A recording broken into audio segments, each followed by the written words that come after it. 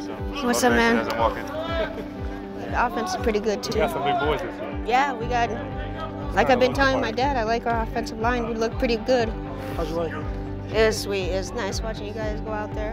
Andrew and his dad Art are huge Wildcat fans, and when uh, Coach Rodriguez decided to bring uplifting athletes to the University of Arizona, uh, the guys got together and they knew right away that, that this was the cause they wanted to champion because of the relationship that they developed with Andrew. Uplifting Athletes champions rare diseases.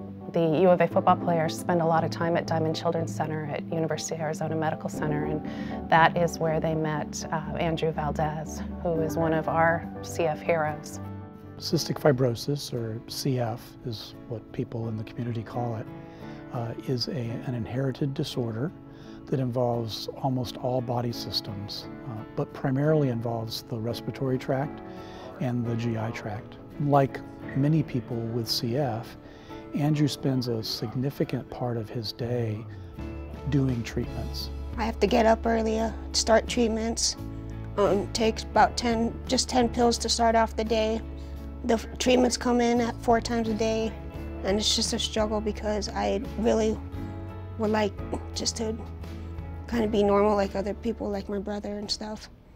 When the football players came, I was, I was actually in his room one day, and the football players came, and Andrew immediately perked up, and they were just talking like they were fast friends, like they'd been high school buddies or something.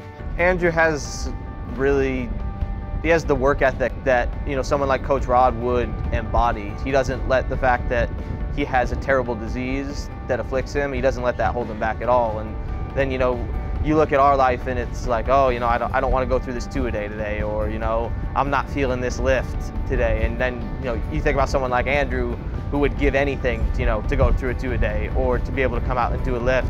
And it kind of just makes the whole thing easier for you.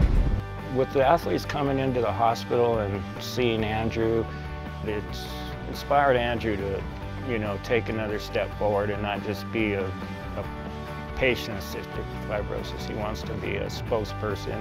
When he first was offered this opportunity to speak about cystic fibrosis,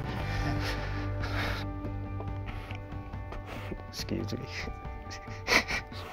you, you know, he, he, eh, when he first was given this opportunity, he, he didn't want to do it, but I think it's inspired him even more than, than anything.